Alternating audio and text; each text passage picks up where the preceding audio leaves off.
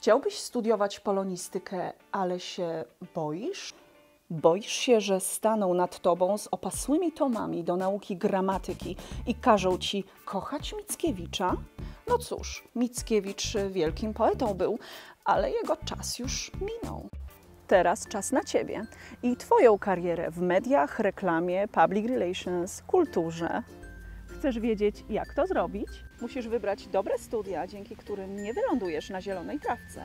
Studia polonistyczne w PWSW w Przemyślu to dobra inwestycja w przyszłość, bo uczymy praktycznie. Powtórzę, praktycznie.